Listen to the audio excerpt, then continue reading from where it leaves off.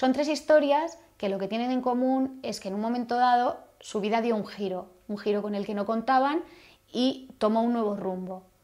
Nos pareció interesante la idea de transmitir que las verdaderas barreras son más allá de, las que pueden surgir en la vida, las que uno se impone, tomadas como prejuicios, miedos, autocensura, que son las que realmente te, llevan a no, a no hacer eh, proyectos que te gustaría llevar a cabo o a tener ciertos miedos.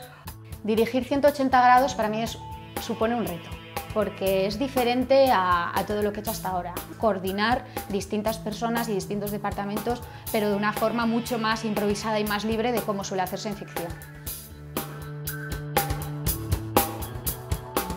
Sinceramente, lo más difícil de todo, lo más complicado está siendo cuadrar agendas. Nosotros no podemos coordinar el día que se va a realizar, la hora que se va a realizar, el lugar ni el cómo.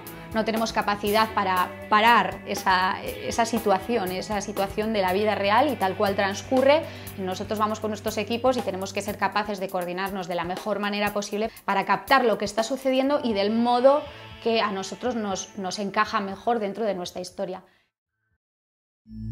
Son tres historias eh, completamente distintas y sí que nosotros nos hemos establecido una serie de, puntos en común y, una serie de objetivos que queremos llevar a cabo y qué es lo que queremos contar y sobre todo cómo queremos contarlo, cuál es el tratamiento estético que queremos dar a cada personaje.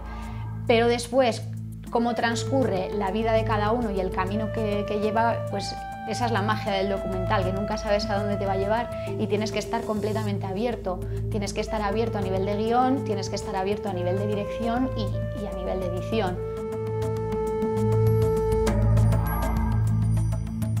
Y luego la propia vida, cuando, cuando, lo estás grabando, te regala situaciones, te regala momentos y te regala conversaciones que no se te habrían ocurrido y que sin embargo a ti te sirven como guionista y te sirven como, como director para, para unir con la otra historia, para abrir un nuevo, un nuevo tema. Y esa es la magia del documental, que es, que es un guion vivo, que es una historia viva, que se va contando y se va trazando hasta, la propia, hasta el propio montaje.